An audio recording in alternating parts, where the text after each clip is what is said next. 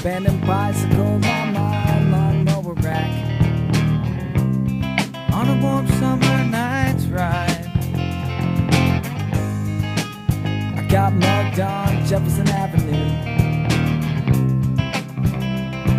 tonight. First thing I noticed as I rode along was a dude running up behind me. He said, Give me your bike, and I said, Fuck you. It's mine. Said, My people are coming. I turn around to take a look, and they were. They were Guy.